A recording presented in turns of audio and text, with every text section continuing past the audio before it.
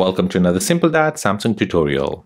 In this video, I'll show you how to turn your icons to have the same color theme as your home screen on your Samsung Galaxy phone using the new Samsung One UI 5.1. If you're new on the channel and you want to find out more about your iPhone, your Android phone, or your social media apps, then go ahead and hit that subscribe button to become a part of the Simple Dad community. Hit the like button if you find this video useful. So if you want to jazz up your home screen, then let me show you how to do this.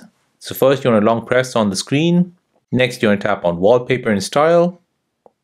Here you want to tap on color palettes. From the color palette section, you want to go ahead and select the colors that you want to apply to your screen, to your text, or anything that appears on your phone.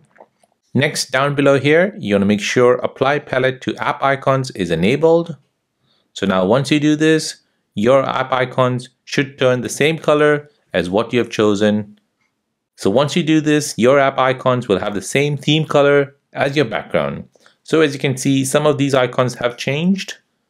And there you go. That is how to turn your icons to have the same color theme on your Samsung Galaxy phone using the new Samsung One UI 5.1.